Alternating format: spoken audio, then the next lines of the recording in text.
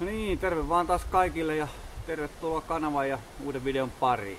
Tämän videon aiheena onkin sitten semmonen homma, että sata tilaajaa on kanavalla täynnä alle kahdessa viikossa. Ja nöyrimmät kiitokset siitä teille kaikille tilaajille ja katselijoille tasapuolisesti. En olisi uskonut, että tota, näin nopeasti tulee sata tilaajaa täyteen. Enkä ollut tähän yhtään varautunut. Nyt niitä on itse asiassa paljon enemmän joku sata. Ja tehdään tämmönen sadan videon tai sadan tilaajan spesiaali. Mä tällä hetkellä on vaan 13 videoa YouTubessa. Ja tota, ensimmäisen videon on julkaissut 10. päivä 9. Ja tuota, nyt on kohta 400 tilaajaa täynnä. Se 100 tilaajaa oli mulla semmonen tavoite puolessa vuodessa. Se tuli kahdessa viikossa. Ja kiitos siitä kuuluu kaikille teille. Ottaen vielä huomioon sen, että minä olen ihan amatööri näissä kuvaushommissa, editointihommissa, kameran edessä esiintymisessä, niin tuota, on kyllä tosi tosi kiitollinen ja tyytyväinen ja tämä antaa kyllä uskoa tähän tekemiseen ja, ja, ja tämän tekemisen kehittämiseen. Tähän asti on nämä alkupään videot leikannut ihan Windowsin omalla editorilla, minkä varmasti kuvasta näkee, ja ne on tosi hitaasti leikattua. Siellä on paljon turhaa tavaraa, pätkää. Minä olen koittanut sitä nyt tässä viime aikoina opiskella, ja nyt varsinkin kun huomaan, että tämä aihe kiinnostaa ja kanavalle tulee liikennettä ja muuta, niin totta kai haluan panostaa siihen työn jälkeen ja olen opetellut nyt ihan uuden tason editointiohjelman käyttöön ja opiskellut vähän tuota editointia muutenkin, niin katsotaan että jos ei tulisi niin pitkäveteisiä sitten osasta videoista ja sieltä karsista sitten turhia pätkiä pois. Mutta siinä varmasti menee omaa aikansa ennen kuin oppii sitä editointia sellainen jouhevasti tekee, mutta sitä nyt on aloitettu opetteleen kunnolla teitä ajatellen. Ja tota, tietysti tämä kameran edessä luonnokkaasti esiintyminen vaatii kanssa vähän tekemistä ja tota, se varmasti tulee tässä ajan kanssa niin kuin moni muukin asia, niin tekemällä oppii. Mutta tosiaan kuten sanottu, niin tämä on sadan tilaaja spesiaalijakso, minkä en ollut ollenkaan varautunut tässä vaiheessa. Niin mulla on sellainen pieni idea. Mulla on tuossa muutaman sadan metrin päässä on sellainen nuotiopaikka, missä ollaan emännän kanssa käyty kesäisiä ja talvella makkaraa paistamassa ja vaan istuskelemassa, niin siihen mä rupean tekemään laavua. Niin pätkitään tällä videolla vähän puita sitä varten ja katsotaan sitten pikkuhiljaa, kun se etenee, että pitäisi talveen mennessä saada valmiiksi, niin miten minä sen teen ja, ja, ja minkälainen siitä sitten tulee. Eli siis omilla mailla ollaan, niin täällä saa touhuta ja tolskata miten tykkää ja tietysti luontoa kunnioittaa pitää ja homma pitää tehdä niin kuin ne kuuluu tehdä. Mutta tuota, joo, minä en tässä nyt sen enempää pidättele. Minä tota, rupeen pätkiin tavaraa täällä tuulisessa ja sateisessa metsässä, niin rupean pätkiin sitä tavaraa, heittää nippuun ja rupean suunnittelemaan, että minkälainen siitä sitten tulisi. Ja lennosta suunnittelen, ei ole mitään piirustuksia moiseen.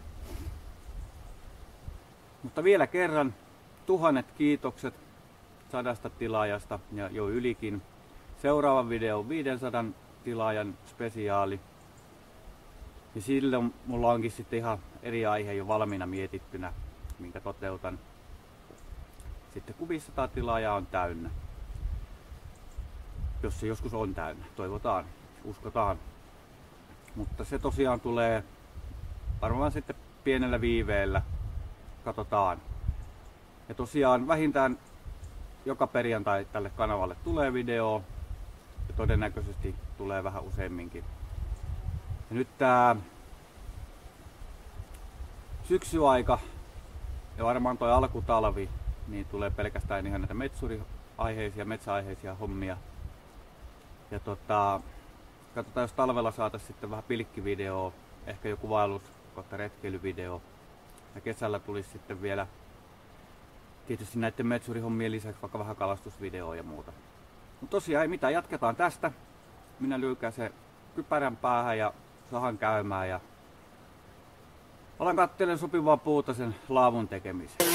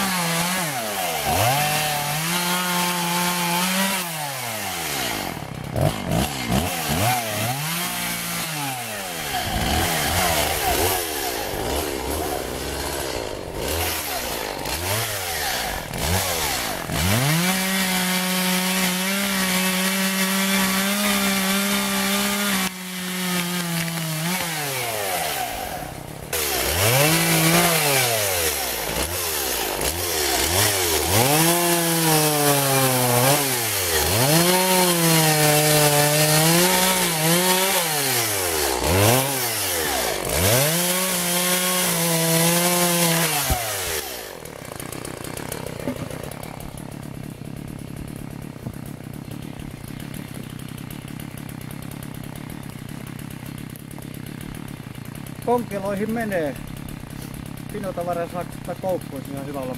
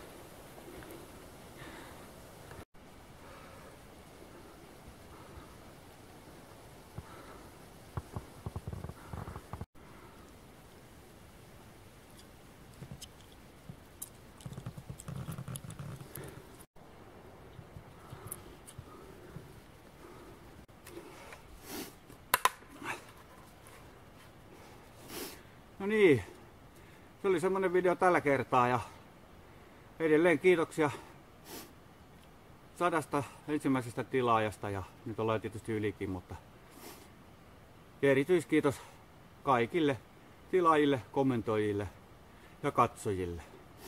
Katsokaa lisää ja kommentoikaa ahkerammin ja peukkua ylös tai alas, niin tiedetään tälläkin päässä, että tykätäänkö näistä videoista, mitä olisi parannettavaa. Mutta ei tällä erää sen enempää. Minä olen pitkän päivän tehnyt metässä. Tähän pätkin vähän puita, että saa tätä laavuprojektia alkuun. Tällä rupeaa tulemaan pimeä, niin se tulee aika äkkiä tähän vuodesta. Niin minä pakkaan kimpsut ja kampsut ja painun kotio. Teille toivotan oikein hyvää päivänjatkoa seuraavan kertaan. Se on moi!